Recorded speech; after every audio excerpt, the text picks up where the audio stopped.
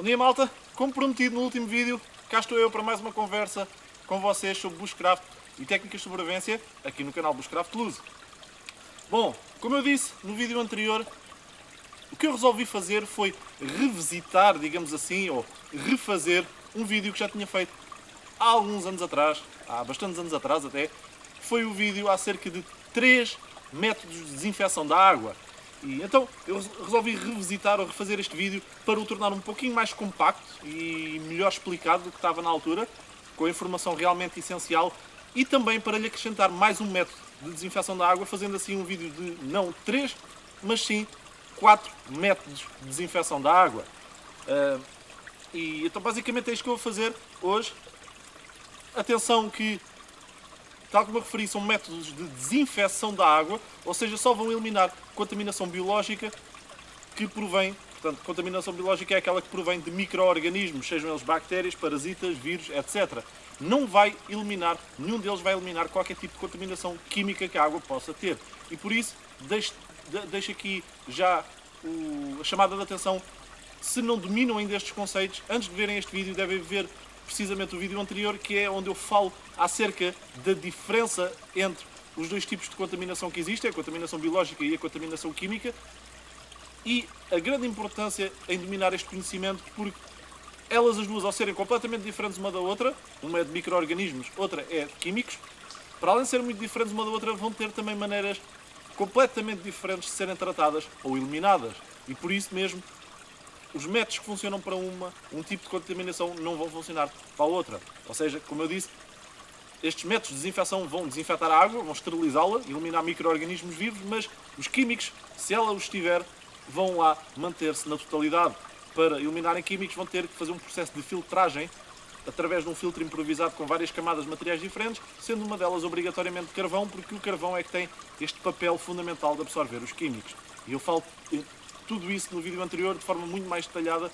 Eh, portanto, normalmente, numa situação de sobrevivência típica, entre aspas, ou seja, estamos perdidos numa zona remota, longe da civilização, no meio da selva, no meio do mato, na natureza, normalmente só temos de nos preocupar com a contaminação biológica, que é o que vamos tratar aqui hoje, ou seja, micro-organismos, e aplicar um método de desinfecção da água. Mas se estivermos numa situação de sobrevivência urbana, próximo da civilização, pelo facto de estarmos próximos, vamos ter que, para além da contaminação de micro-organismos, que pode existir em qualquer lado, vamos também ter que nos preocupar com a contaminação química e, por isso, para além do método de desinfecção da água, vamos ter que utilizar também filtragem da água da forma que eu expliquei. Então, tal como eu disse, hoje vai ser acerca de quatro métodos possíveis de utilizar para desinfetar a água de qualquer tipo de micro-organismos que existam. Já sabem, eu sou o Pedro, praticante de bushcraft e técnicas de sobrevivência. Espero que gostem deste vídeo, mantenham-se aí. Vamos a isto!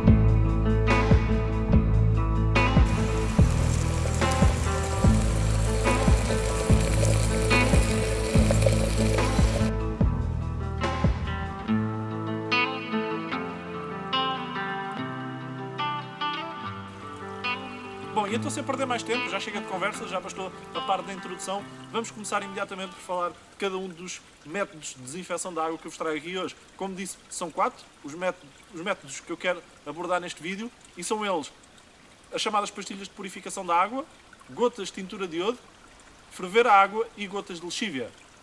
Vamos passar já imediatamente ao primeiro método de desinfecção que eu vos quero apresentar. E ele vai ser, ou vão ser, pastilhas de desinfecção da água. Elas normalmente são designadas até pelos próprios comerciantes ou pelas próprias marcas que as fabricam, muitas vezes como pastilhas de purificação da água, mas quanto a mim é um conceito errado, portanto é uma forma errada de as designar, porque elas não estão a purificar nada, no fundo estão apenas a desinfetar a água. Para mim, purificar envolve remover contaminação biológica e contaminação química, ou seja, envolve a junção de um método de desinfecção com um método de filtragem que remova químicos. Isto para mim é que é purificar a água e estas pastilhas não fazem isso.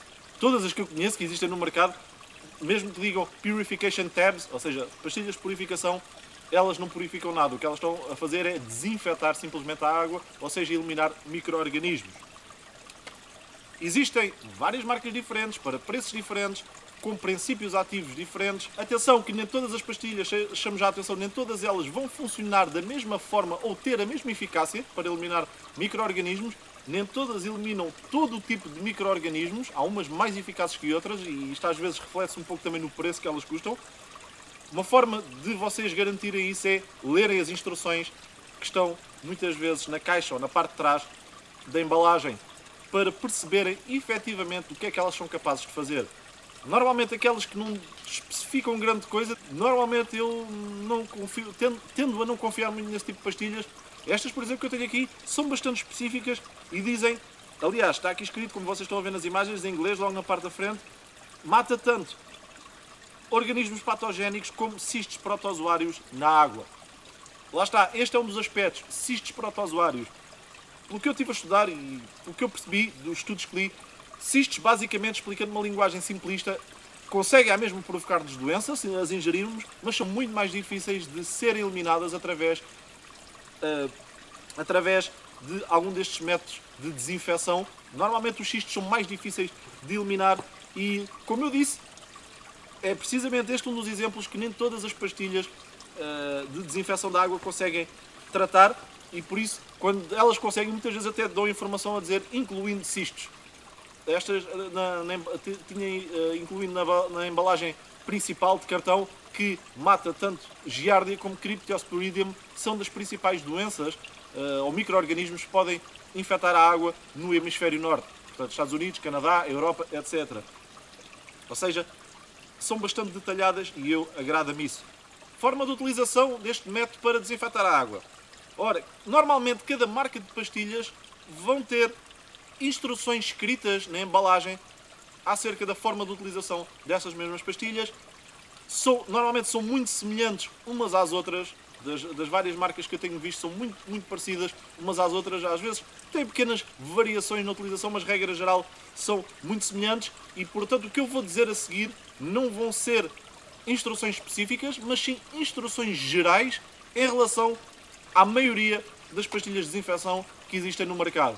No entanto, devem sempre, obviamente, quando compram, ler as instruções para ver detalhadamente o que é que precisam de fazer. Normalmente a forma de utilização é simples. Vocês vão utilizar uma pastilha por cada litro de água. Ou seja, tem um, cantil de um litro, como normalmente eles são, colocam uma pastilha para desinfetar a água. Tem um cantil de 2 litros, colocam duas pastilhas. Tem uma garrafa de água de litro e meio, por exemplo, daquelas comerciais. Colocam uma pastilha e meia, ou inclusivamente podem colocar duas pastilhas, porque mais vale um pouquinho a mais do que a menos e não vos vai fazer mal nenhum. E então é isto, uma pastilha por cada litro de água. Normalmente as instruções vêm em inglês e diz Add one tablet to every one liter of relatively clear water. Portanto, one tablet, atenção não confundam com tablet. Tablet não é esta embalagem retangular toda. Tablet em inglês quer dizer pastilha, uma única pastilha. Às vezes o pessoal não sabe muito inglês, acho que é importante chamar isto a atenção. Tablet é uma pastilha. E então vai ser uma pastilha por cada litro de água. Normalmente esta informação refere-se à água limpa e transparente, como esta deste ribeiro que eu tenho aqui a correr aos meus pés.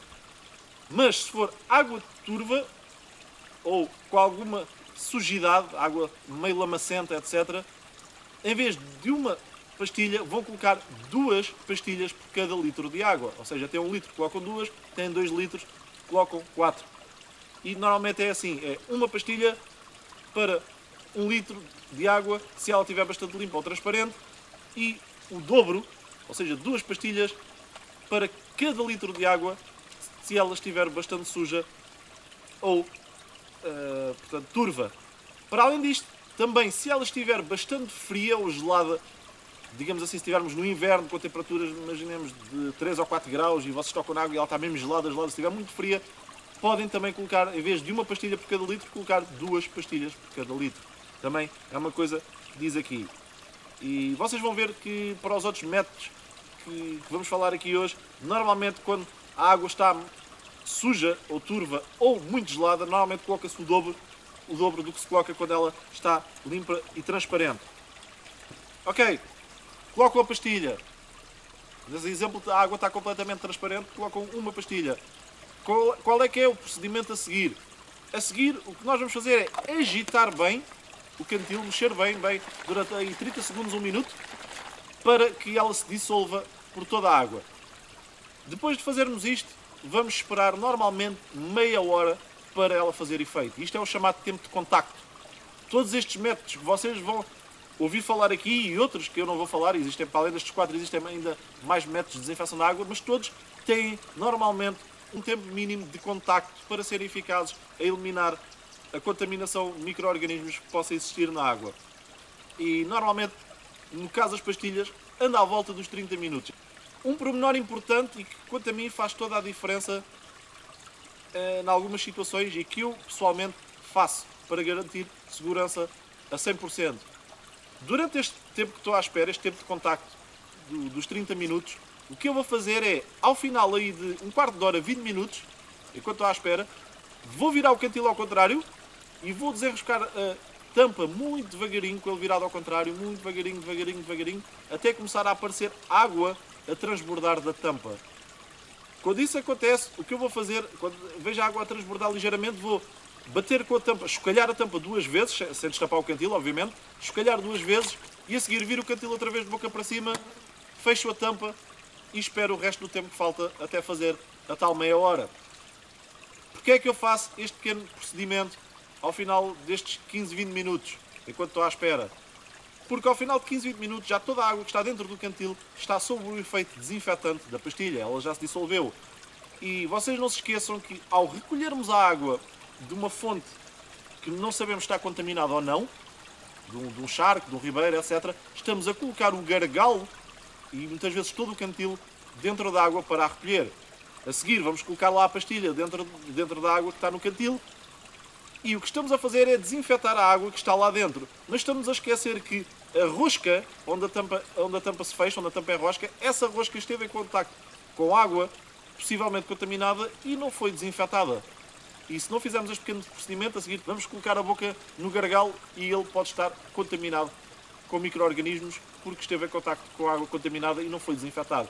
E esta é uma forma de o desinfetar. Depois é esperar o resto do tempo que falta até fazer a meia hora. Para mim é uma dica importante e vocês devem ter atenção. E basicamente é isto, é esta forma simples de utilização das pastilhas, uma forma rápida, conveniente. Uma coisa que vocês podem fazer se a água, por exemplo, estiver muito turva ou suja e, neste caso, tiverem que colocar duas pastilhas em vez de uma por cada litro. O que vocês podem fazer é utilizar um pedaço de tecido, ou inclusivamente a vossa t-shirt, para filtrar alguma dessa sujidade e tornar a água mais transparente, colocando esse pedaço de tecido na, na boca do gargalo. Podem utilizar um chapéu como este que eu tenho aqui né, hoje à cabeça. Podem inclusivamente fazer dois tripés e suspender umas calças de ganga vossas, enfiar água lá para dentro e filtrá-la através do tecido das calças de ganga, principalmente se estiverem num dia com muito calor, não há problema delas ficarem muito molhadas, a seguir vestem-nas e elas secam rapidamente. Portanto, existem várias formas que vocês podem utilizar para filtrar sujidade. Atenção, isto é uma filtragem simples, não tem nada a ver com a filtragem de químicos. Filtrar químicos, como eu disse no início, tem que ser um filtro com várias camadas de materiais diferentes e uma dessas camadas, obrigatoriamente, uma boa camada de carvão, porque é o carvão que faz o efeito de, ou o efeito principal de absorver os químicos.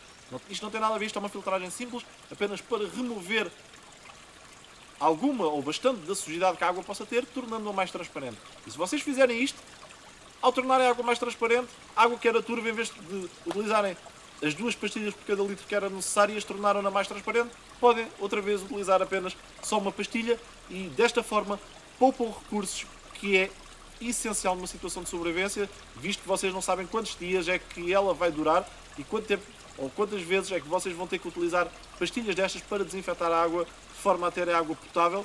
Ou seja, quanto mais as conservarem, melhor para vocês e esta é uma forma de o fazerem. Bom, vamos passar a seguir para o próximo método de desinfecção. O próximo método vai ser, como já tínhamos falado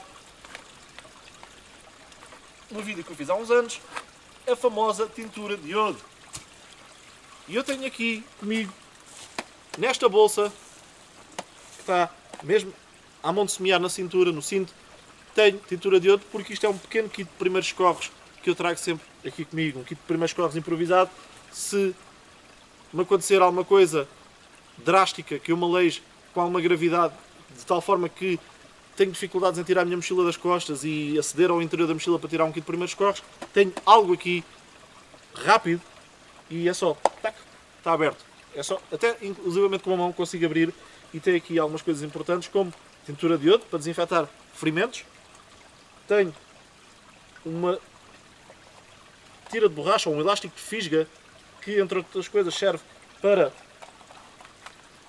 fazer um garrote, no caso de uma hemorragia grave, e ainda uma boa quantidade de fita adesiva que serve para pensos improvisados ou inclusivamente para fixar algum pano ou algum pedaço de tecido num corte de forma a utilizá-lo como compressa. Ou seja, isto no fundo é um kit quase como de primeiros corres improvisado.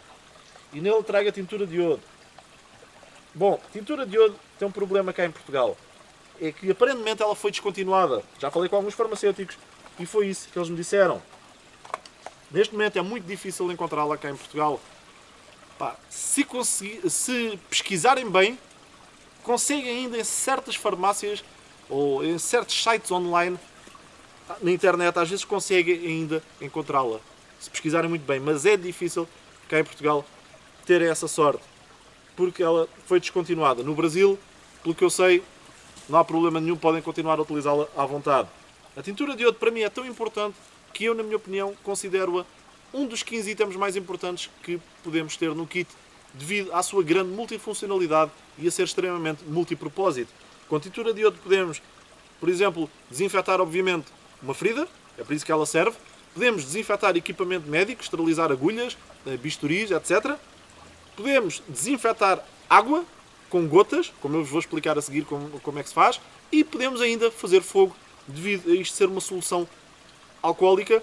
Se derramarmos um pouco numa superfície que, que não absorva muito a tintura de iodo, por exemplo, uma rocha, etc., se derramarmos um pouco e ela se mantiver ali um bocadinho sem ser absorvida, a seguir agarramos numa pederneira, fazemos uma faíscadela, bum! Temos chama. Vocês muitas vezes não conseguem ver a chama porque está arde com, com umas labaredas muito transparentes, quase não se vêem, mas o que é certo é que se colocarem lá alguma coisa por cima, como estão a ver nas imagens, o que é facto é que a chama, a chama está lá e vai pegar fogo ao que vocês colocarem. Pelo menos que eu conheça, existem três concentrações de iodo diferentes. Cá em Portugal, a tintura de iodo que era mais comum e que se vendia em praticamente todos os supermercados é a tintura de iodo de 1%. Mas, em algumas farmácias, às vezes, não era tão comum, mas conseguia-se encontrar também tintura de iodo de 6%. E basicamente eram os dois tipos que havia, 1% e 6%. No Brasil e nos Estados Unidos, acho que não há nenhuma destas duas, ou não, pelo menos não são tão comuns, mas a que é realmente comum nesses sítios, Estados Unidos e Brasil, é a tintura de iodo de 2%, que é uma tintura de iodo que não há cá em Portugal. E basicamente são estas três concentrações que podem existir: 1%, 2% e 6%.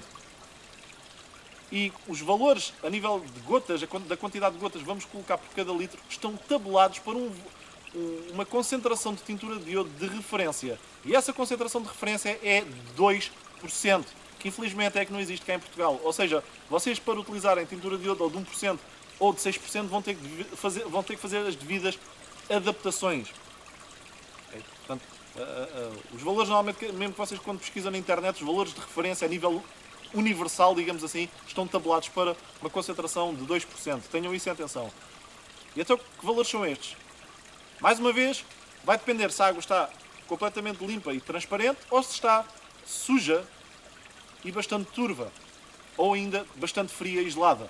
Vai depender destas duas situações. Se estiver bastante limpa e relativamente transparente, normalmente coloca-se 5 gotas por cada litro de água. Mas se, pelo contrário, estiver bastante suja e bastante turva, coloca-se o dobro. Ou seja, 10 gotas por cada litro de água. Se estiver assim, é mais ou menos, nem totalmente limpa, mas nem muito suja, assim, uma coisa intermédia, podem colocar um valor intermédio, 7 ou 8 gotas. E estes são os valores de referência em relação à tintura de iodo de 2%. Uh, eh, lá está, se a água também estiver muito fria e gelada, também colocam o máximo, colocam 10 gotas. Se tiverem uma tintura de iodo ou de 1% ou de 6%, têm que fazer as devidas adaptações. Se tiverem a de 1%, ou seja, é metade da concentração de 2%, por isso têm que colocar o dobro das gotas da que colocam de 2%. Ou seja, em vez de colocarem 5 gotas de mínimo se ela estiver muito limpa, ou 10 gotas de máximo se ela estiver muito suja ou muito fria, colocam 10 gotas se ela estiver bastante limpa e transparente, ou 20 gotas se ela estiver muito suja e turva, ou inclusivamente muito gelada. E um valor intermédio, por exemplo, 15 gotas se ela estiver uh, nem muito suja nem, nem, nem muito limpa. Ou seja, concentração, se está mais diluída, se é apenas metade, vão ter que colocar o dobro da quantidade do que colocam para a concentração de referência. Se for uma concentração de 6%, como ela é 3 vezes mais concentrada, vão ter que dividir o valor de referência por 3, ou seja, vão ter que colocar 3 vezes menos. Um aspecto importante, como é que eu sei qual é a concentração da tintura de iodo se não disser nada no frasco? E às vezes isso acontecia principalmente naquelas tinturas de iodo de concentração 1%, daquelas que se compram no, nos, ou que se compravam nos supermercados. Muitas das vezes, ou quase na totalidade das vezes, não diz nada acerca da concentração de iodo que elas têm. Como é que eu descobri que eram de 1%? É bastante simples. Pelos estudos, ou pela pesquisa que eu fiz há uns anos atrás, facilmente consegui perceber que a percentagem ou a concentração da tintura de iodo tem a ver com o ingrediente iodo que ela tem. Ou seja, a tintura de iodo é constituída por vários ingredientes, tem o iodo, tem o iodeto de potássio, salvo erro, tem álcool etílico, tem três ou quatro ingredientes, mas o que conta para a concentração é o iodo, o iodo só. E normalmente vem, é, é, portanto, a quantidade vem em gramas. E as gramas correspondem exatamente à concentração. Ou seja, numa tintura de iodo com uma concentração de 1%, normalmente tem 1 grama de iodo. Se tiverem uma tintura de iodo com concentração 6%, tem 6 gramas de iodo. Se tiverem uma concentração de tintura de iodo de 2%, tem 2 gramas de iodo. E basicamente foi assim que eu percebi ao comparar, fazer a comparação dos vários rótulos de, dos frascos. E se não conseguirem perceber qual é a concentração, é uma forma fácil de vocês, de vocês uh, descobrirem. Ok, colocamos as gotas. A seguir, o que é que vamos ter, qual é os procedimentos que vamos ter que fazer? A seguir, os procedimentos vão ser muito semelhantes às, da pastilha, às das pastilhas de desinfecção da água. Colocamos as gotas, novamente vamos fazer a mesma coisa, agitar bem o cantil durante cerca entre 30 segundos a um minuto para dissolver bem e espalhar para toda a água e o tempo de contacto, ou seja, o tempo vamos ter que esperar até qualquer microorganismo estar eliminado, vai ser novamente meia hora. Novamente para desinfetarem a rosca do gargalo, onde é a rosca a tampa, passados 15 a 20 minutos de terem colocado as gotas e delas estarem a fazer efeito, vão fazer o mesmo procedimento, virar o cantil ao contrário, desenroscar a tampa muito devagarinho, muito devagarinho até a água começar a aparecer, a transbordar na tampa. E assim que isso acontece, escalham duas vezes a tampa e viram o cantil novamente com a boca para cima, enroscam a tampa e esperam o resto do tempo até fazer meia hora. Às vezes, quando a água está muito suja ou muito turva, ou inclusivamente muito gelada, eu, para além de colocar o dobro das gotas que coloco quando ela está, muito, quando ela está bastante limpa e transparente, para além disso, vou esperar às vezes 45 minutos em vez da meia hora, só para, ali para ter a certeza podem novamente fazer daquela forma, se a água estiver bastante suja ou bastante turva, que é filtrá-la primeiro, antes de colocarem as gotas, através de um pedaço de tecido para a tornarem mais transparente e dessa forma vão ter que colocar menos gotas. Em vez de colocarem o dobro das gotas, podem colocar apenas as gotas que colocam quando ela está transparente ou então inclusivamente ali um valor intermédio se ela não ficar totalmente transparente, mas de qualquer forma não tem que colocar o máximo. E basicamente é isto. Como podem ver, procedimentos extremamente simples e fáceis de se realizarem e compreenderem. Uma chamada de atenção extremamente importante. Este método não deve, eu repito, não deve ser utilizado por dois tipos de pessoas. Em primeiro lugar, pessoas com problemas na tiroide. Pessoas que tenham problemas crónicos na tiroide não devem utilizar este método da tintura de iodo porque vai agravar mais ainda esses problemas na tiroide. Tenham atenção a isto. Segundo grupo são mulheres grávidas. Mulheres grávidas também não devem utilizar este método porque, pelo que eu estive a ler, pode provocar algum tipo de malformações ou de problemas no feto que está por nascer. Atenção a isto. Quanto a mim, na minha opinião, mesmo pessoas saudáveis, uh, que não tenham problemas nenhum na tiroide, não tenham qualquer tipo de espécie de problema, não devem utilizar este método de forma continuada, porque pode eventualmente, tratando-se de iodo, mexer com as nossas hormonas e causar mais tarde algum problema na tiroide se utilizarem de forma continuada. Para mim, isto é um método de, das duas uma. Utilizamos de vez em quando, ah, esporadicamente, temos a tempos, ou então utilizamos especialmente numa situação de sobrevivência que dura uns quantos dias, pá, aí não há problema nenhum. Portanto, para mim é um método para estes dois cenários, ou é para ser utilizado muito de vez em quando, ou apenas numa situação de emergência, uh, porque é uma situação relativamente reduzida no, no, no tempo. Atenção a isto. Uma, um pequeno truque ou uma pequena dica que vocês podem também fazer para tornar a água mais uh, apetecível de ser bebida, uh, e quem já bebeu água tratada com tintura de iodo sabe que ela vai ficar com um, um pequeno gosto e um pequeno cheiro de tintura de iodo e às vezes torna-se um bocado desagradável. Podem fazer é, se tiverem com vocês uh, pastilhas de vitamina C, daquelas que se coloca na água efervescentes, etc., ou, ou uns, uns de chá, etc., qualquer coisa que dê paladar ou outro gosto à água para disfarçar o gosto da tintura de iodo, podem, obviamente, utilizá-lo. Da mesma forma, podem fazê-lo com as pastilhas de desinfecção da água, que vão deixar, principalmente se forem de dióxido de cloro, vão deixar um ligeiro aroma e cheiro a cloro. É normal.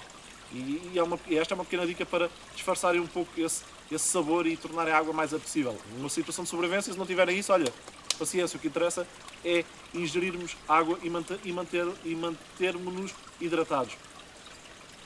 A seguir, terceiro método que eu vos quero falar vai ser o que para mim é considerado o método mais eficaz de desinfecção da água.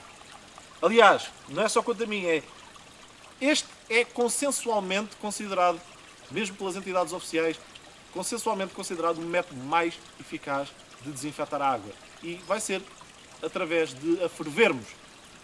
Ferver a água vai matar, sem sombra de dúvidas, quaisquer micro-organismos de qualquer espécie, incluindo cistos, pá, o que for que exista na água. Como é que funciona? Funciona de forma extremamente simples e apenas vão ter que ter atenção a um pormenor. Este pormenor é se estão a baixas altitudes ou a altas altitudes. O que é que nós consideramos baixas altitudes? Baixas altitudes serão altitudes aí até cerca dos 1500 metros de altitude, mais ou menos, mais coisa, menos coisa, por aí. Ou seja, cá em Portugal, basicamente quase todo o território nacional é considerado baixa altitude. Altas altitudes, obviamente, é 1500 metros para cima. E tem que ter atenção a este aspecto e ao sítio onde estão, porque para isso vai depender o tempo de contacto em que a água vai estar a ferver para ser considerada desinfetada. Vamos começar pelas baixas altitudes ou altitudes normais. Normalmente, a altitudes normais, a água entra em ebulição aos 100 graus Celsius. E a partir do momento em que atinge o ponto de ebulição e que começa a borbulhar com bastante força, como estão a ver aí nas imagens, basicamente a ebulição é isso, ela vai começar a borbulhar devagarinho até que chegam mesmo ao ponto de ebulição em que está a borbulhar com bastante força. A partir desse momento que chegou a esse ponto, a água é considerada desinfetada e podem retirá-la da fogueira. Se deixarem muito mais tempo, o que vai acontecer é que apenas estão a desperdiçar água que vai eh, sair através da evaporação. Portanto, altitudes normais, assim que ela entra em ebulição, começa a borbulhar com bastante força, podem tirá-la imediatamente que ela está desinfetada de qualquer micro-organismo que exista. Eventualmente podem esperar 30 segundos só por descarga de consciência. Mas está boa para beber. Se for a altas altitudes, o que nós vamos fazer é, depois de ela entrar em ebulição, ou seja, começar a borbulhar com bastante força, não vamos tirá-la logo, mas sim esperar mais 3 ou 4 minutos e aí sim podemos retirar a água do fogo. Porquê é que temos que esperar 3 ou 4 minutos a altas altitudes e não temos que esperar nada a baixas altitudes? O conceito é simples de compreender. A baixas altitudes, a pressão atmosférica é maior do que a altas altitudes. E isto vai influenciar a temperatura a que a água entra em ebulição. Como eu disse, a baixas altitudes ela vai entrar em ebulição por volta dos 100 graus Celsius. Mas o efeito de matar os micro-organismos não começa aí. O efeito de matar os micro-organismos começa por volta dos 70 graus Celsius. E este tempo que vai demorar ela, desde que começa a matar os micro-organismos aos 70 graus Celsius até atingir os 100 graus Celsius, que é o ponto de ebulição, este tempo é o tempo necessário para matar qualquer micro-organismo que exista na água. O problema é que altas altitudes, como a pressão atmosférica é mais baixa, o ponto de ebulição, em vez de ser aos 100 graus Celsius, vai ser mais abaixo. Vai ser aí por volta dos 90 graus Celsius, mais ou menos, mais coisa, menos coisa. Ou seja, se entrou em ebulição aos 90 graus Celsius e se começou a matar micro-organismos aos 70, dos 70 aos 90, o tempo, obviamente, vai ser menor do que dos 70 aos 100. E por isso mesmo, e isto, eu disse, funciona por tempo de contacto, como o tempo que demora ela a elevar-se da temperatura desde os 70 aos 90 não é o suficiente para eliminar todos os micro-organismos, vamos ter que dar mais 3 ou 4 minutos para que ela efetivamente chegue aos 100 graus Celsius. O problema é que nós não temos maneira de visualmente determinar isto, visto que a água entra em ebulição a uma temperatura mais baixa, logo aos 90. E por isso compensamos, para ter a certeza que ela chega aos 100 graus Celsius, compensamos com mais 3 ou 4 minutos. Basicamente é isto. É só terem este aspecto em atenção e verem em que sítio é que estão. Se estão a baixa altitude ou alta altitude. Mais nada. E para mim, aliás, não é para mim, é consensualmente, mesmo pelas entidades oficiais, é um método de desinfecção mais eficaz que existe. E por isso mesmo é que eu normalmente transporto comigo, na minha mochila, um cantil de aço inoxidável. Pelo menos isto. Aço inoxidável, volto a repetir. E não alumínio. Porquê? Tal como eu já falei no vídeo acerca de, da discussão sobre cantis, o que vocês podem reparar se compararem um lado um, ou outro lado a lado é que um cantil de aço inoxidável é apenas de aço inoxidável, não tem qualquer revestimento ou qualquer película interior. Mas os cantis de alumínio, como o alumínio é mais frágil estruturalmente do que o aço inoxidável, para lhe dar mais robustez, no processo de fabrico o que se faz é colocar uma resina por dentro, que forma uma fina película amarela, que vocês estão a ver aí nas imagens, e podem ver em comparação lado a lado que os de alumínio têm essa película amarela por dentro, que é uma espécie de uma resina, e os de aço inoxidável não têm nada. Ora, essa película, essa película dos cantinhos de alumínio, o que vai fazer se colocar água ao fogo a ferver é que com o tempo vai começar a verter químicos para dentro da água e obviamente não é uma situação que vocês querem. Se for uma situação de sobrevivência, pá, se eu só tiver um cantil de alumínio para ferver a água, não quer saber. É no cantil de alumínio que eu vou ferver a água porque é uma situação reduzida a nível de tempo. É aqueles dias. Mas se for num kit que vocês utilizem para acampar, para, para andar no meio do mato de forma continuada, eu investia num cantil de aço inoxidável e não num de alumínio. Atenção a este aspecto. Para além disso, muitas vezes o que eu utilizo é ainda... Obviamente, para ferver a água neste cantil, eu vou retirar a tampa que é de plástico, não quero que ela se queime. Outra coisa que eu muitas vezes tenho, em conjunto com o cantil de aço inoxidável, é um copo metálico, assim, com duas pegas, chamadas pegas em borboleta, que fecham assim e cabe perfeitamente no cantil, não ocupando mais espaço. Desta forma, tenho dois recipientes metálicos onde posso desinfetar água em maior quantidade ou posso cozinhar num e desinfetar água no outro, dá muito mais margem de manobra. Normalmente é este o conjunto que eu utilizo. Outra forma de fazer as coisas é comprar simplesmente o um copo metálico, quanto maior, melhor, mais água conseguem ferver e desinfetar, e terem um gatilho simples de plástico destes e utilizarem um conjunto. É outra forma improvisada que podem fazer. E normalmente eu utilizo uma destas soluções. Por fim, o último método que falta explicar e que eu não tinha abordado no vídeo que fiz há uns anos atrás vai ser a lexívia, ou como vocês chamam no Brasil, salvo erro, é alvejante, ou ainda água sanitária. O termo mais correto é hipoclorito de sódio. É o termo científico para a lexívia é hipoclorito de sódio. Vocês vão querer a lexívia mais básica e simples que encontrarem. Pá, aquela lexívia comum que utilizam para limpar a casa é essa que vocês querem. Portanto, é a lexívia completamente pura, sem cheiros, a nível de, de aromas floridos, nada disso. Pá, sem qualquer tipo de aroma florido, de, de rosas ou de perfumes floridos, pá, nada disso. É lexívia pura e simples. É essa lexívia que vocês querem utilizar. Como é que a lexívia funciona? A lexívia vai funcionar de forma muito semelhante à tintura de iodo. Vai funcionar através de gotas. O problema é que normalmente a lexívia vem em garrafões. Por isso, para terem um conta-gotas que meça exatamente as gotas que vocês querem colocar, vão ter que transferir para outro recipiente ou para outro frasco. E foi o que eu fiz. Tenho aqui um frasquinho que basicamente é um frasco de soro fisiológico que eu comprei no supermercado, custou uns cêntimos, e eu comprei este frasco espe especificamente porque tem um conta-gotas. O que eu fiz foi tirar o conta-gotas para fora, deitar o soro fisiológico fora e com um funil encher o frasco de lexívia pura, simples. Coloco novamente o conta-gotas e está pronto a funcionar. Obviamente, para não confundir com outra substância, eu vou escrever aí lexívia, ou em inglês bleach, como estão a ver na imagem, e ainda coloco a data em que pus a lexívia cá dentro para saber há quanto tempo é que ela, está, é que ela cá está. Isto é importante porque a lexívia, com o passar do tempo, se não for utilizada com frequência, vai perdendo propriedades.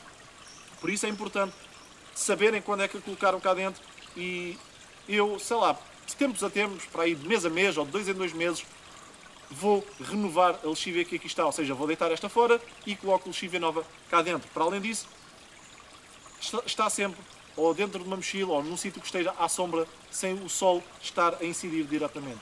E então a lexívia vai funcionar como? Simples. Se a água estiver bastante limpa e transparente, colocamos apenas duas gotas, é só isto, duas gotas por cada litro de água.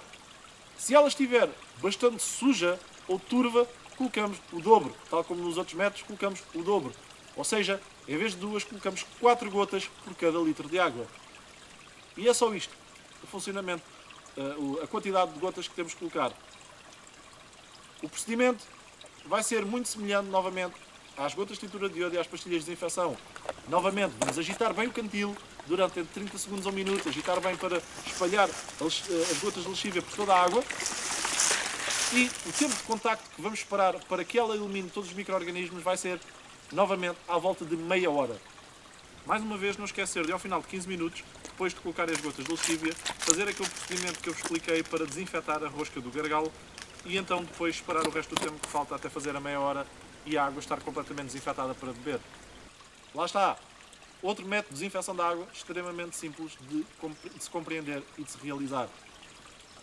Novamente, podem fazer da mesma forma que fazem com as pastilhas de desinfecção e com a tintura de iodo para evitarem utilizar o dobro da quantidade se a água que vocês vão recolher for muito suja ou muito turva.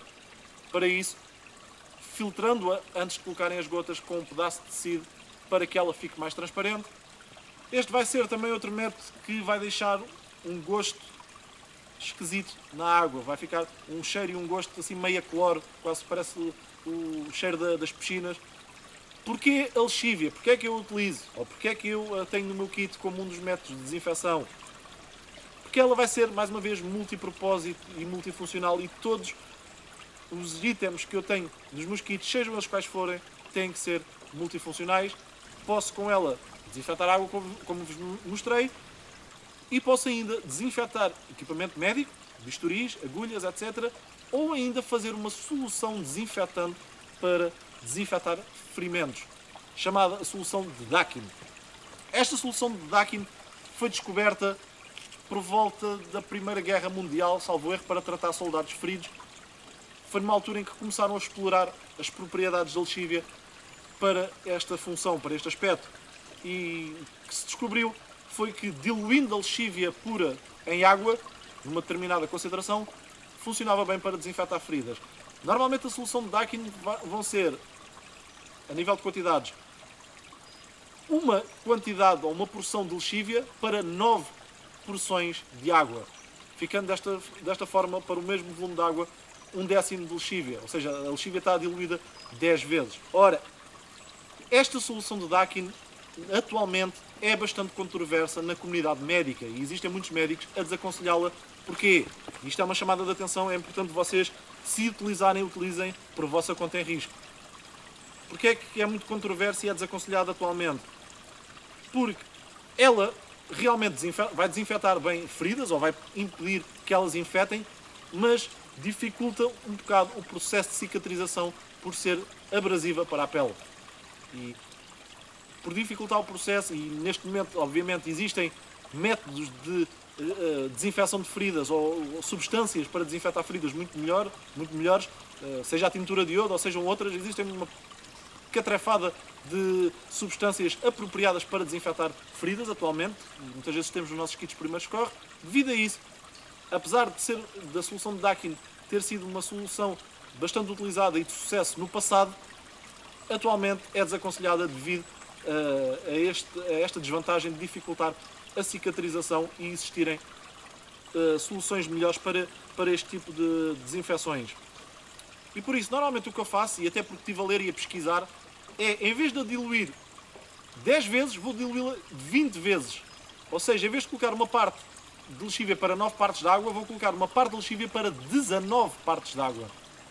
Porque, pelo que eu estive a ler, as propriedades de desinfecção de, feridas vão continuar à mesma e desta forma não vai ser tão abrasiva para a cicatrização do vosso ferimento. É normalmente o que eu faço, diluo ainda um pouco mais. Para fazer esta diluição é simples. Ora, este recipiente tem 100 ml. Este recipiente do soro fisiológico tem aqui lexívia.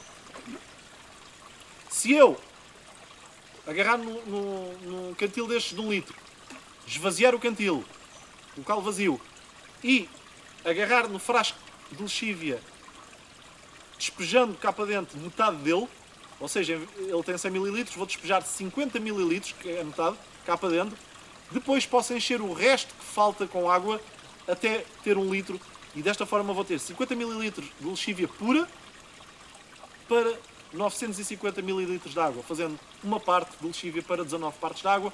Agite bem, agite, agite, agite, agite e fica aqui com uma solução boa para irrigar feridas e desinfetá-las.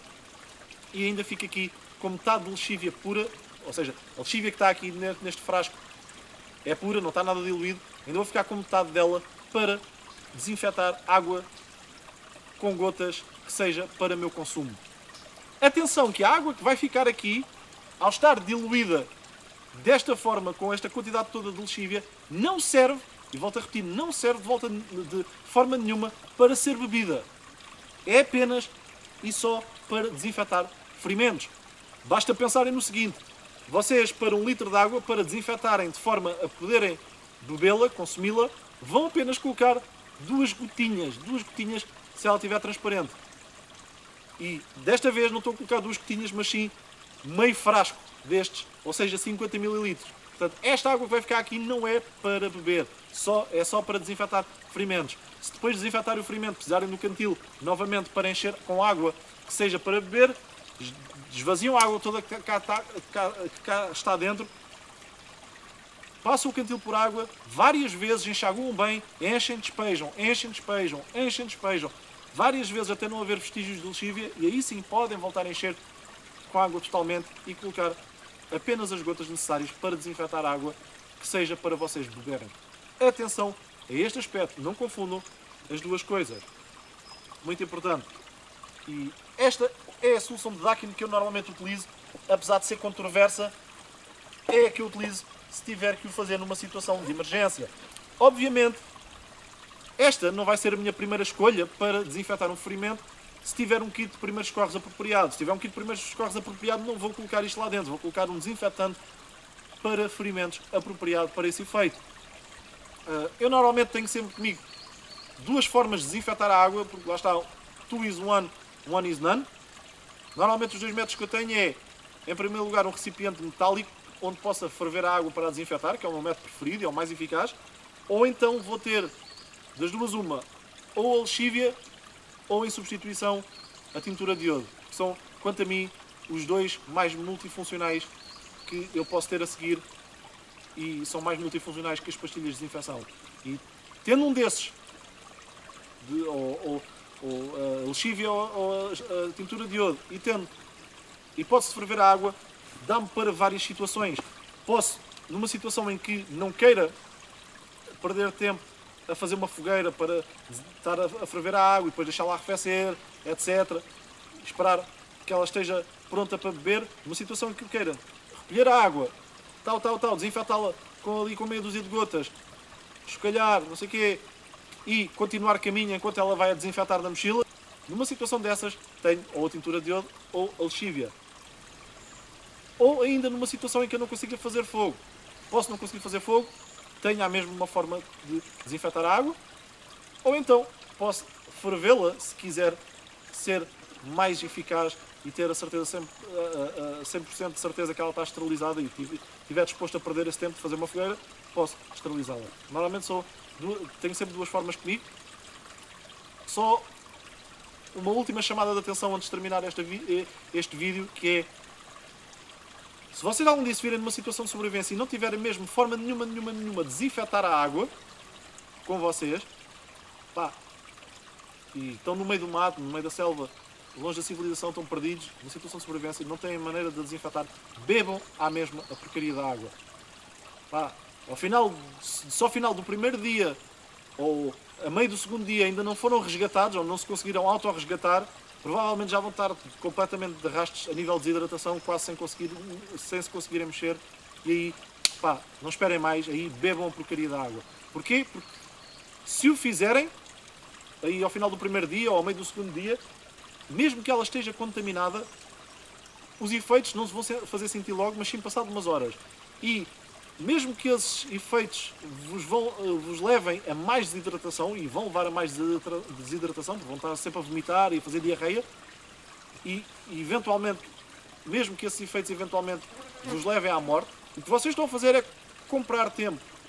Porque mesmo nessa ocasião os efeitos não vos vão matar logo imediatamente.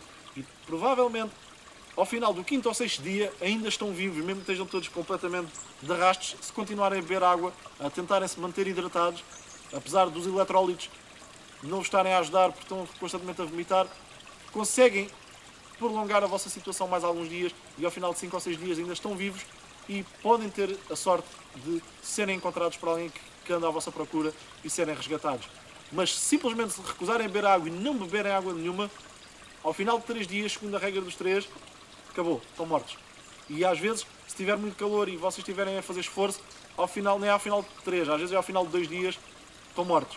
Portanto, permite-vos ganhar tempo, mesmo que a água esteja contaminada com micro-organismos, e por isso, se não tiverem outra oportunidade, bebam a mesma porcaria da água. Obviamente, eu iria tentar encontrar água que não tivesse parada, estagnada, água que esteja a correr, água corrente é melhor, há menos, ou a concentração de micro-organismos possa haver na água provavelmente vai ser menor, por a água não estar estagnada. Água transparente e limpa vai ser melhor que água turva, mas se só conseguirem encontrar uma poça de água meio, meio turva, meio lamacenta e não houver mais nada, bebam a mesma porcaria da água se não conseguirem desinfetar. É um conselho que eu deixo para vocês. Espero sinceramente tenham gostado deste vídeo. Já sabem, eu sou o Pedro praticante de bushcraft e técnicas de sobrevivência. Obrigado pelo vosso apoio constante, malta. Pessoal, principalmente aquele que me apoia constantemente e comenta constantemente. Eu não me esqueço de vocês, sei perfeitamente quem é que vocês são. Alguns de vocês são meus amigos até no meu perfil de Facebook. Pá, o vosso apoio para mim é essencial através dos comentários, através dos gostos, através das subscrições no, no canal, das visualizações. Qualquer dúvida, comentem que eu pá, tento responder se souber. E por tudo isso, muito obrigado. Mais uma vez, espero que tenham gostado deste vídeo aqui no canal dos Craft Blues. Vemos no próximo.